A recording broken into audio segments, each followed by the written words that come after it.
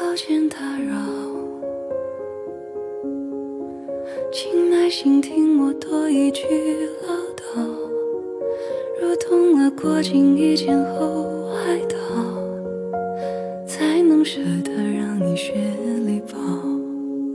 非诚勿扰，已经听不了别人的劝告。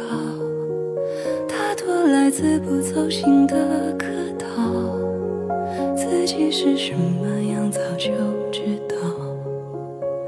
原来早没有人打扰，原来好好活着挺好，原来想念未必可以相见，原来可以祝福，就已值得庆祝。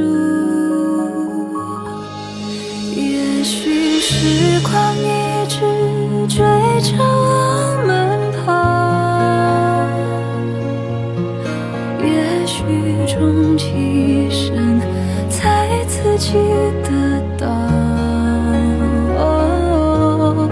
有些人愿意陪我一起变老。他们叫友人，叫爱人，叫亲人，他们是最甜蜜的烦恼。